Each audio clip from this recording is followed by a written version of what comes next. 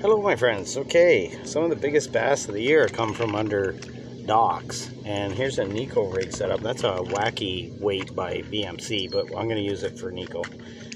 So let's just get one of them out. Then we have a number one hook, just a drop shot hook. Take the fat end of the Senko, stick the weight up in it.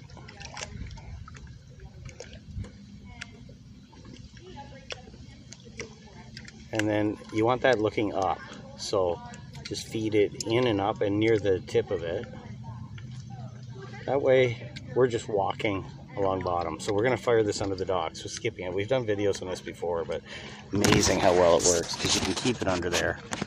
Let's do this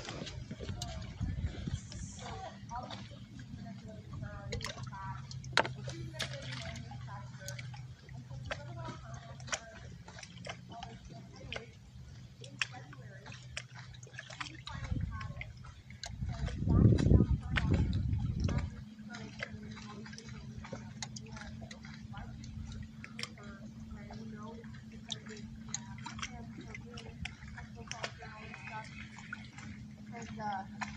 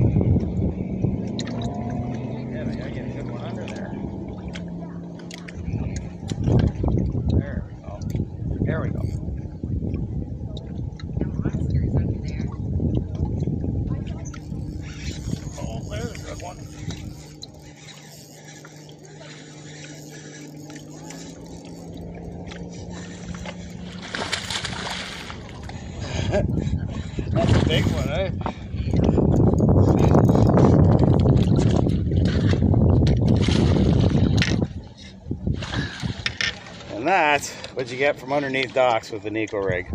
Those little number ones, get them and pull them right out of there. You enjoy the day. See ya.